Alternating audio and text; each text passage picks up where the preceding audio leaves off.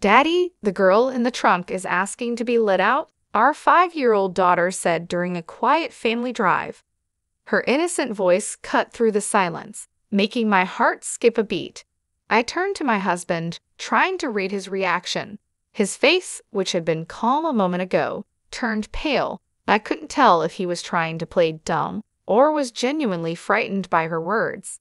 He glanced back at our daughter through the rearview mirror, his eyes wide with fear. That's a scary thing to say, he muttered, trying to dismiss it. You shouldn't tell such lies. I glared at him from the passenger seat, feeling a knot of suspicion tightening in my chest. Maybe we should pull over at the rest area, I suggested, my voice sharper than I intended. It had been six years since we got married. I had always been supportive of my husband, even though his job kept him busy. I had been the one holding things together at home, managing everything while he focused on his career. But now, with our daughter's strange words hanging in the air, I felt a chill of uncertainty. Was something dark about to be revealed? My name is Lisa Jackson. I married my husband, James, when I was 30 years old. He is five years older than me, and our relationship had always seemed solid. The year after we got married, our daughter Julia was born, bringing so much joy into our lives. She's been growing up healthy and lively, and just recently turned five. Our family had been living busy but happy days, filled with love and laughter. How about going to the zoo next Friday? James suggested, trying to change the mood. Yay! I want to see the giraffes. Julia squealed with excitement, her earlier comment seemingly forgotten. I couldn't help but smile at their cheerful conversation, feeling a bit of the tension ease away. James had always been a kind and loving husband. Since we started dating, he was attentive and caring, and that didn't change after we got married and had Julia. On his days off, he would eagerly join in on family activities, playing with Julia and making her laugh. He was the perfect father, always there for us. I often thought about how lucky I was to have married him. Watching James and Julia together brought me a deep sense of happiness. Our life was good, stable, and filled with love. But little did I know, those peaceful days were about to be shattered. One day, James came home with a heavy sigh, his face looking weary and troubled. You're being transferred to a different department, I asked, noticing his downcast expression. Yeah, he replied, his voice flat. It's company policy. They want me to gain experience in different places.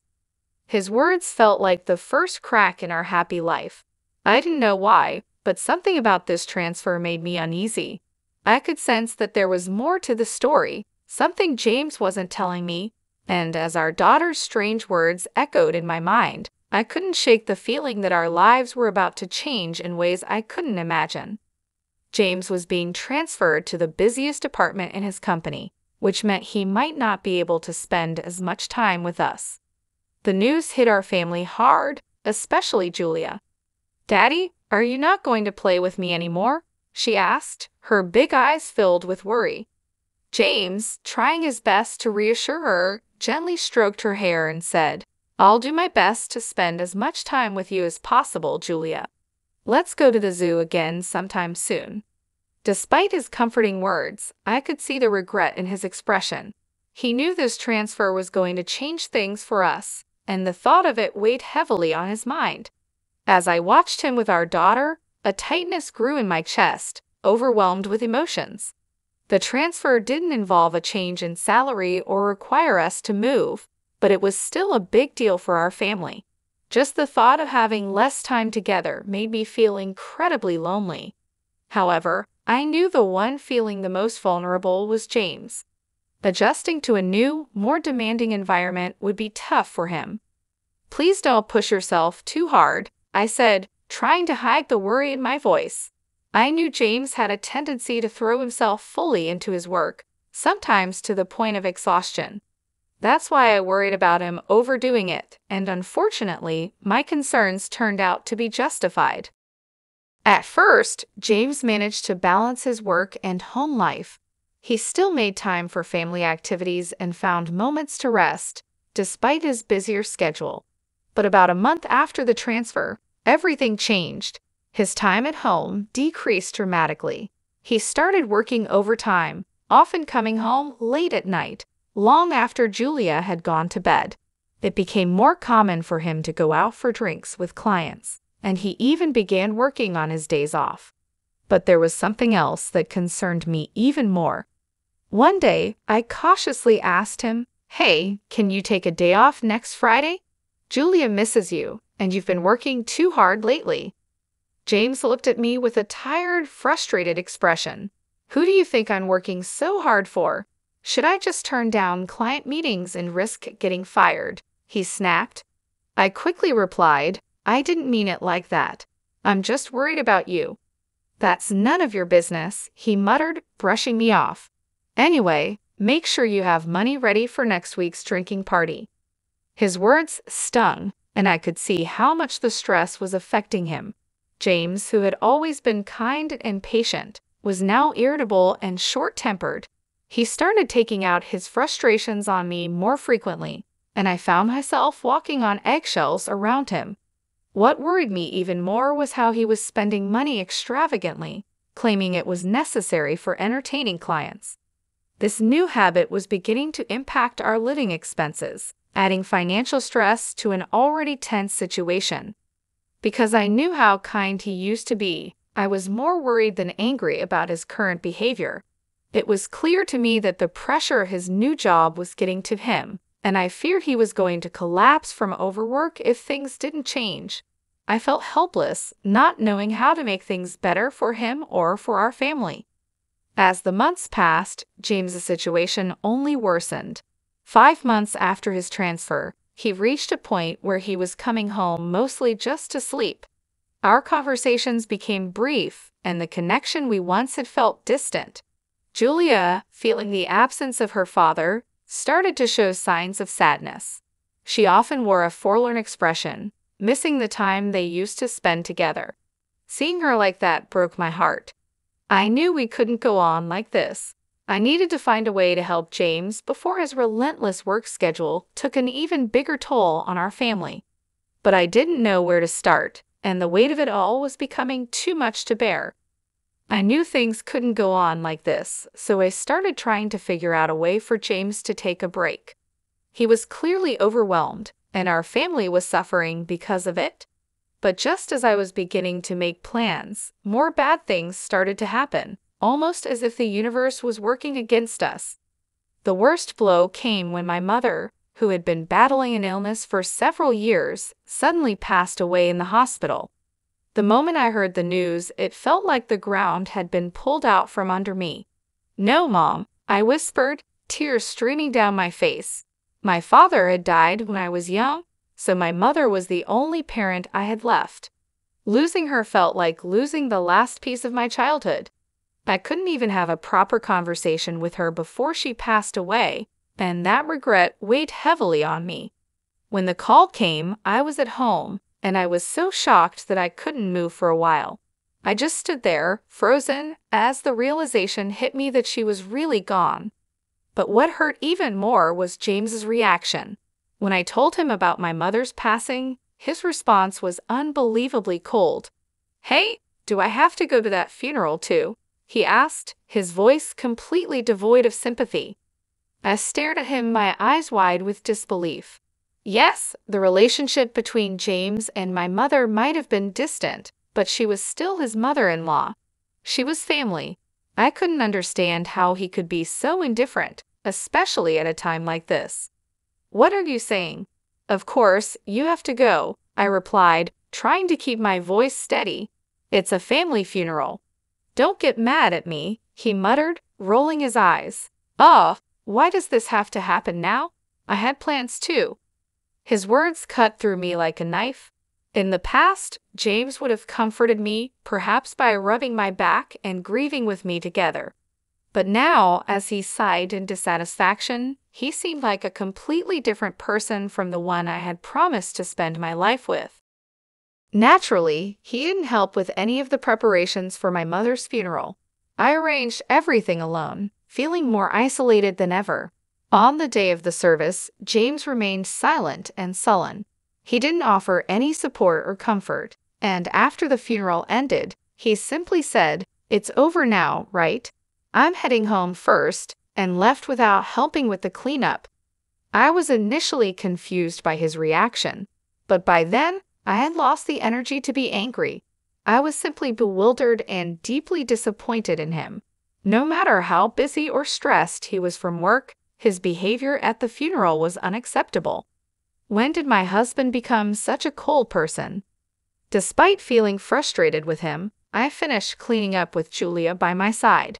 She was too young to understand everything that was happening, but she could sense that something was wrong and did her best to help me. Mom, Julia will help you, she said, her small voice bringing a bit of comfort to my aching heart. After the funeral, I decided to stop by my parents' house for a short while.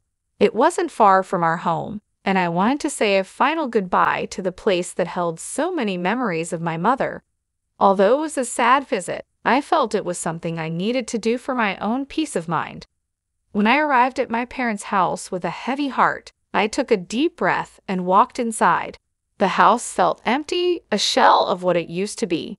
As I stood in the living room, surrounded by the remnants of my mother's life, I felt a wave of sorrow wash over me.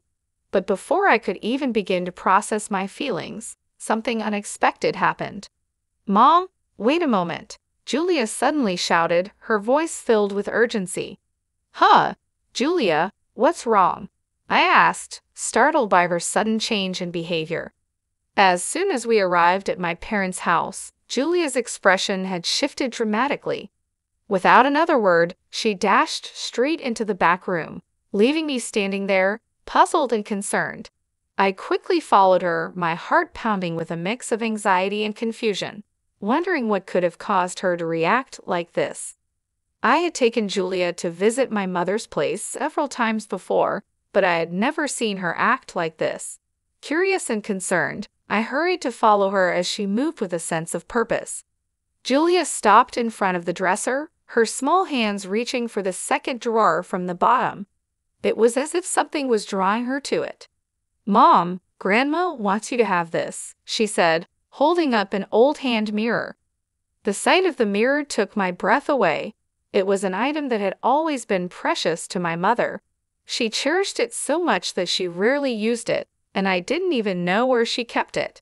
I stood there, stunned, as I realized that Julia had somehow found this hidden treasure. How did you know it was here?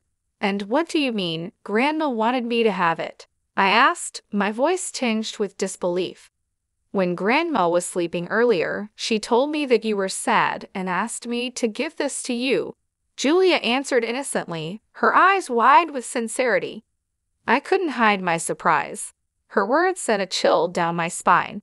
There was no way Julia could have known about the existence of this hand mirror, let alone where it was kept. Yet here she was, holding it out to me with a calm certainty that was both unsettling and awe-inspiring. Wanting to understand what was happening, I decided to ask her some questions. I asked about things she couldn't possibly know. Tomorrow's dinner menu I was thinking about, and even thoughts I had during the funeral. To my astonishment, Julia answered each question correctly, as if she had read my mind. It became clear to me that my daughter had a mysterious ability to know what people were thinking. I was both amazed and bewildered. Wow, that's amazing, Julia. You know everything, I said, stroking her head gently still trying to wrap my mind around this revelation. I had always thought that the idea of mysterious abilities was just something from stories, never imagining that my own daughter might possess such a power. Julia, proud of her newfound ability, put her hand on her hip and gave me a confident look. That's right. Julia knows about Dad, too. What do you mean? I asked, my heart skipping a beat. What she told me next was incredibly unbelievable and unforgivable. Julia revealed things about James that shook me to my core. I listened in stunned silence as she spoke, realizing that the man I had married was not who I thought he was. A few weeks after my mother's funeral, I decided it was time to confront James. On a morning when he was getting ready to leave for work, I casually mentioned, by the way, I'm visiting my friend with Julia next Friday. James, who had been focused on getting out the door, suddenly stopped in his tracks. He frowned, looking genuinely troubled. Really? Oh no, I'm off that day. That's too bad, he said, his voice filled with artificial concern. I could sense the insincerity in his tone. It was clear to me now that he was hiding something. I let out a small, knowing smile, careful not to reveal my true feelings. Now that I knew the truth, there was no love left for James inside me. That Friday, I left home with Julia as planned. We spent about an hour away, giving me time to gather my thoughts and prepare for what I needed to do. When we returned home, Julia pointed towards the garage and said, Dad's over there. I took a deep breath and walked towards the garage, where the shutter was still down. My heart was pounding, but I knew what had to be done. I lightly knocked on the shutter and called out, James, I know you're in there. Open it. There was a moment of silence, then a hesitant voice replied, Huh, Lisa? I thought you and Julia had plans, James said, his voice filled with surprise. It's canceled, I replied calmly. If you're going somewhere, we want to come with you. He sounded flustered and hesitant, clearly not expecting this. Oh, okay, he stammered, reluctant to open the garage shutter. I had a pretty good idea of what was going on inside, but decided to stay quiet and observe. Julia wants to go for a drive too, I added, hearing the hope in her voice. Unable to resist, James had no choice but to agree. A few minutes later, he reluctantly opened the garage, and we started our drive together. Sitting in the passenger seat, I looked at James as he drove. His profile was tense, and it solidified my final decision. Life with James had been enjoyable and happy, but I knew those days would never come back. Hey, did you know Julia has a special power? I finally brought it up as we merged onto the highway. James furrowed his brows, confused by my sudden confession.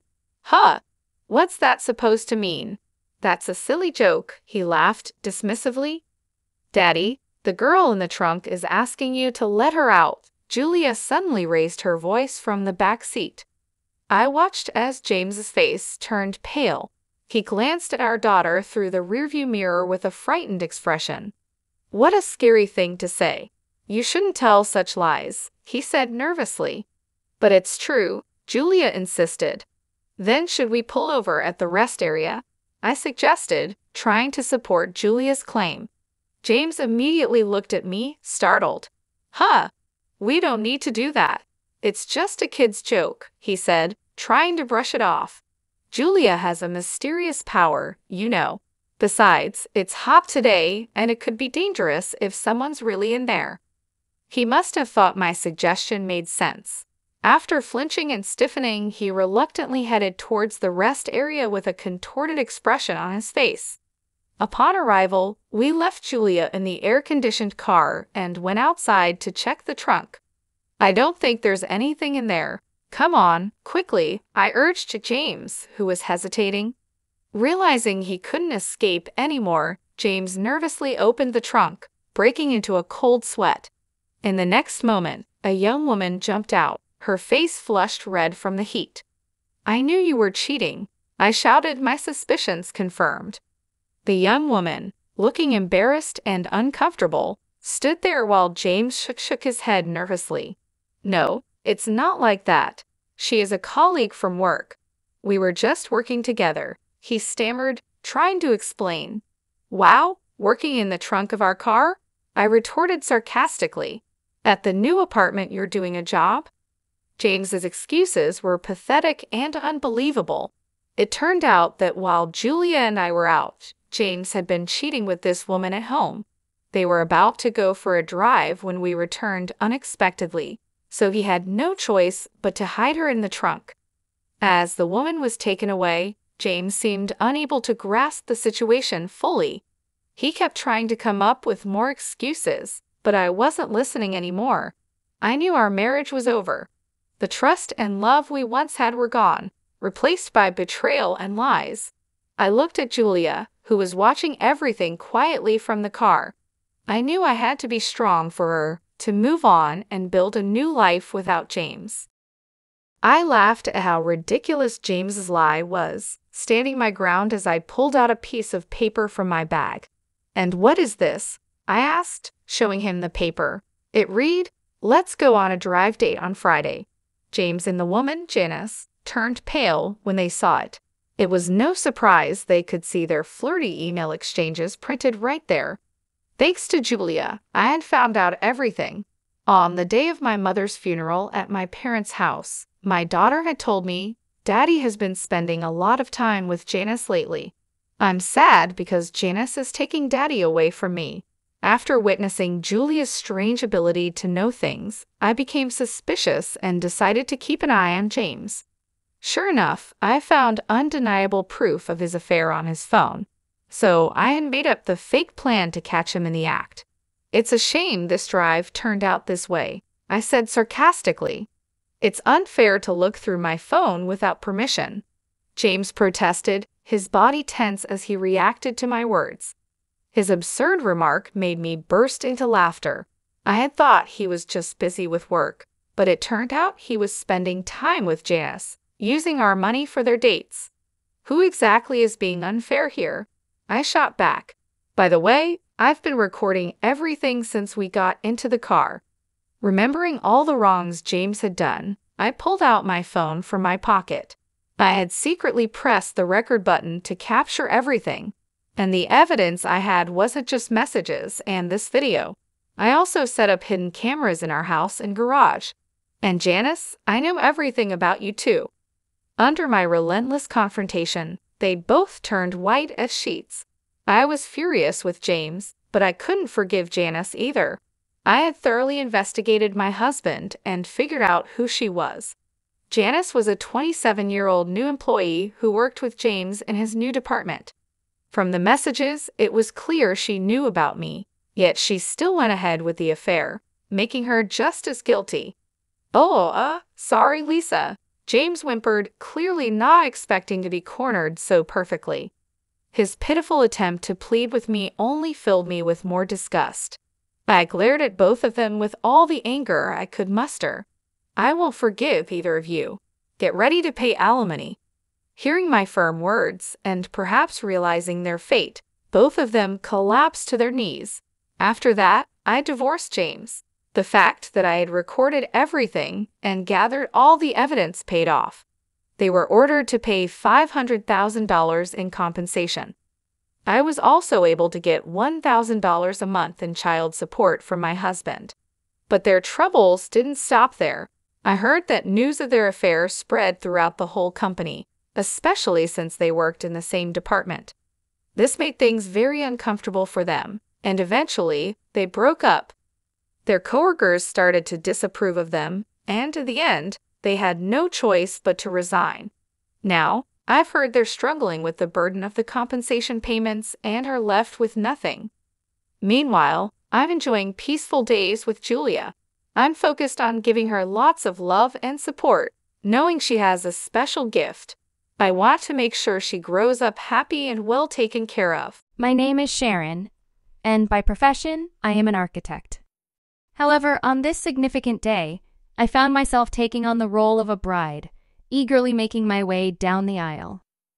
I had put my heart and soul into organizing every aspect of our wedding, from the choice of flowers to the playlist that would provide our soundtrack for the evening.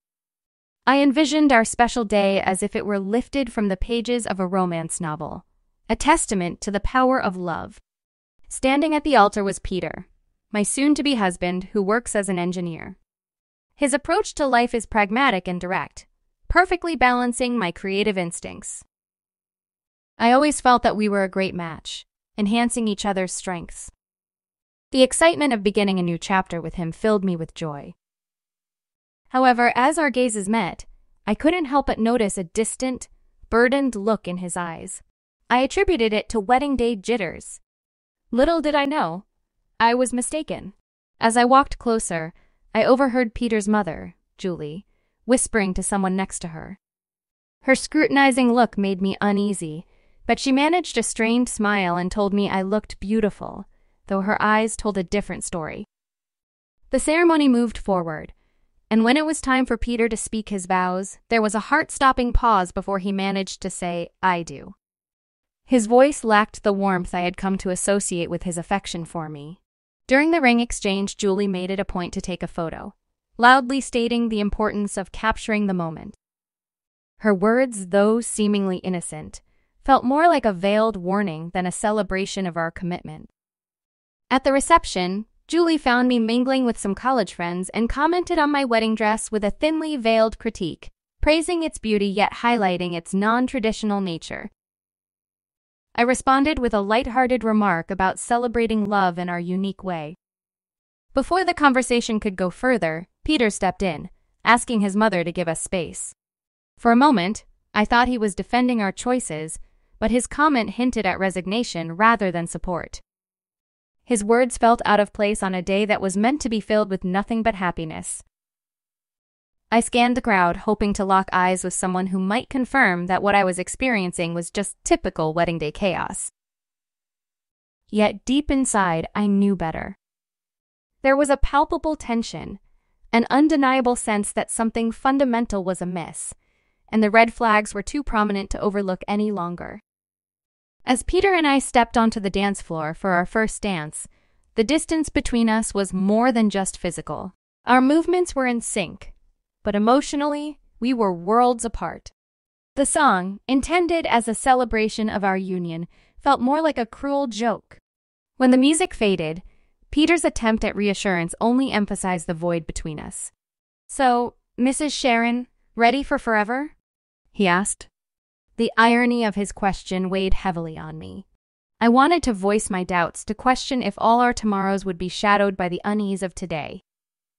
Instead, I masked my concerns with a tentative affirmation, hoping against hope that the gloom would dissipate and that this rocky beginning was not a foretaste of what was to come.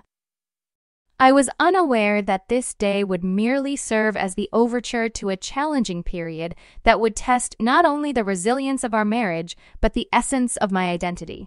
As we celebrated our union, the festive toasts felt hollow, overshadowed by a sense of loss. The journey back to my home, a charming three bedroom house that stood as a testament to my hard work and independence, marked the beginning of our shared life. This home was meant to be our haven, the foundation for our future together.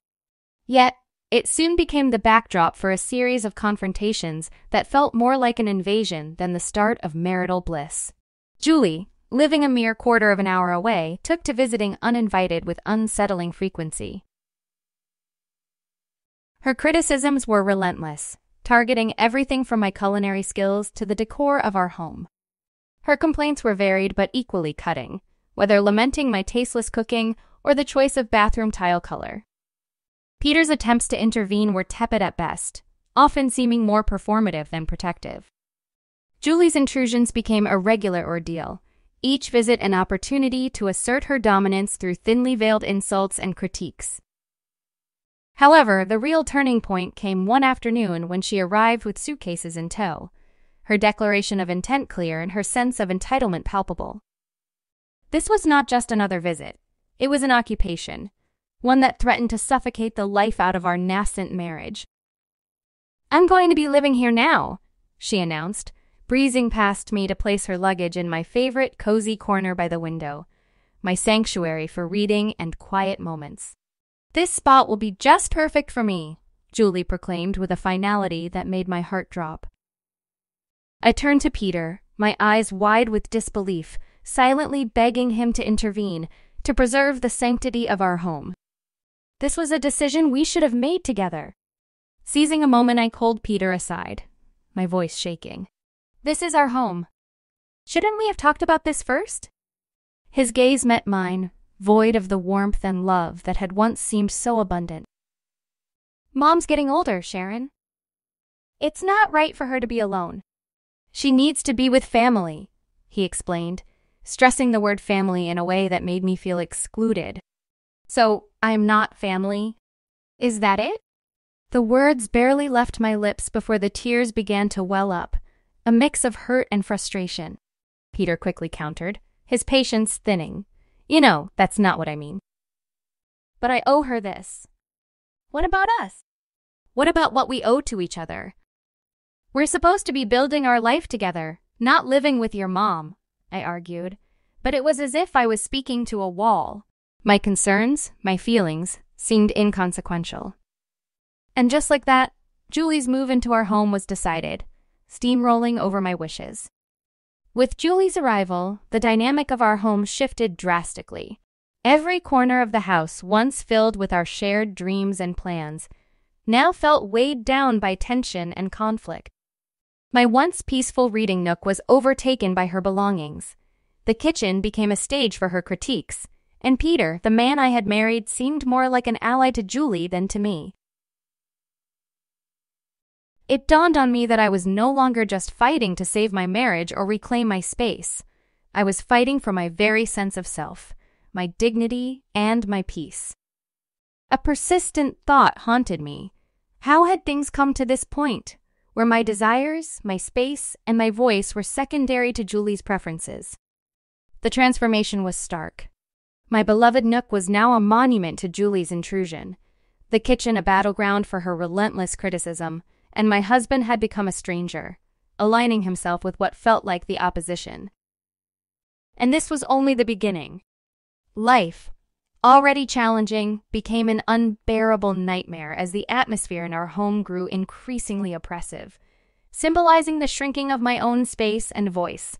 To add to the mounting pressure, a discovery brought everything into sharper focus the unmistakable presence of two blue lines on a pregnancy test, signaling a new life amidst the turmoil.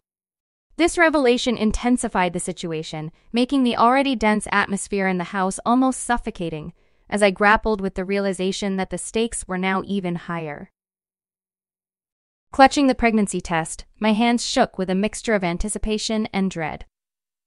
I had always dreamt that discovering I was pregnant would be one of the happiest moments of my life, a time filled with excitement and celebration. However, standing alone in the bathroom, tears welling up in my eyes as I faced my reflection, I realized this milestone felt more like a heavy burden. When I shared the news with Peter, his reaction was disappointingly tepid. Well, that's something, he muttered, quickly diverting the conversation to a renovation idea his mother had proposed. It became clear that Julie saw my pregnancy not just as news, but as her new project. She took it upon herself to oversee every aspect of it, from what I ate to where I would give birth, all under the guise of being helpful. Julie's interference quickly escalated into a form of control. She scrutinized everything I ate, casting judgmental glances at even the simplest of meals and questioning my weight management, despite my assurances that my diet was doctor approved. Doctors these days have no clue, she'd scoff dismissively, convinced that her dated wisdom surpassed modern medical advice. As the pregnancy progressed, Julie's demands grew more outrageous. She transformed my home into her domain, expecting me to maintain it to her standards, disregarding the fact that I was pregnant and needed rest. Sharon, why isn't the living room clean yet? She would demand from her spot in my once peaceful reading nook, now commandeered as her base for endless phone scrolling and TV watching. My protests of fatigue fell on deaf ears, with Julie insisting that pregnancy was no excuse for laziness. Peter's silence throughout these exchanges only added to the strain. His lack of support became painfully obvious, especially during a dinner that erupted into an argument over baby names. Julie's harsh criticism of my chosen name was the last straw. Enough, Julie. This is my child, and I will decide how to raise them, I countered, my patience exhausted. Her reaction was one of indignation, as if my asserting some control over my own life was a personal affront. Peter's attempt at peacemaking, siding with his mother and labeling me as emotional, only deepened the chasm between us. I was left feeling more isolated than ever, trapped in a home that had become a battleground, where my voice seemed to matter less and less. This wasn't just about choosing a baby name anymore. It was about reclaiming my autonomy, my dignity, and the sense of belonging that had been systematically eroded by Julie's overbearing presence. Gazing into the reflection of my once shiny wedding ring, I hardly recognized the woman looking back at me. A woman who was gradually losing everything she held dear her sanctuary, her self respect, and most heartbreakingly, her determination to stand up for herself. It was during one of our tense confrontations that Julie, brimming with a vindictive sense of victory, delivered a blow that would alter everything. She coldly suggested that perhaps I didn't belong in their family if I couldn't navigate a simple family disagreement. Peter's response, or lack thereof, was perhaps the most painful part. His silence was louder and more hurtful than any words could ever be, making it painfully clear that my ordeal was not just beginning, it had been my reality for far too long. My days turned into a blur, moving through a house that no longer felt like mine, clinging to the only beacon of hope I had left the life growing inside me. Yet even this small comfort felt under siege in the toxic environment I found myself in. The breaking point came one frigid evening during yet another excruciating family dinner. Despite my efforts to prepare a flawless meal, Julie's criticisms were relentless, attacking everything from the food seasoning to its preparation.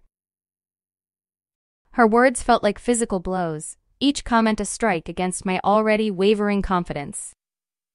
But it was her next jab that cut the deepest, questioning my capability as a mother based on my supposed inadequacy in managing household chores. Peter's agreement with her was the final blow, pushing me over the edge. Fueled by a mix of anger, accumulated resentment, and sheer desperation, I found my voice. Step it up? I've been carrying our child, taking care of our home, and enduring endless criticism from your mother. And you're telling me to step it up? The shock on their faces said it all, but I was past caring. For too long, I had allowed myself to be diminished and belittled, but in that moment, I reclaimed my voice. I'm done. I can't do this anymore, I declared, the clarity of my decision piercing through the years of suppression. It was a declaration of my refusal to tolerate any more disrespect or emotional torment. I was ready to fight for myself, for my child, and for a future free from the shadows that had darkened my life. My voice broke as I spoke. I refuse to raise my child in a place where their mother is constantly belittled. If this is what being a family means to you, then I want no part in it. With those final words, I left the dinner table behind, their stunned silence echoing in my wake. Grabbing only the essentials, I made my way to the door, my hands trembling as I reached for the knob, eager to escape the suffocating atmosphere. Julie, ever the antagonist, chose that moment for her most cutting remark yet. And where do you think you're going? This is Peter's house, not yours. I stopped and faced her, my resolve hardening. Actually, Julie, this house is mine. I bought it.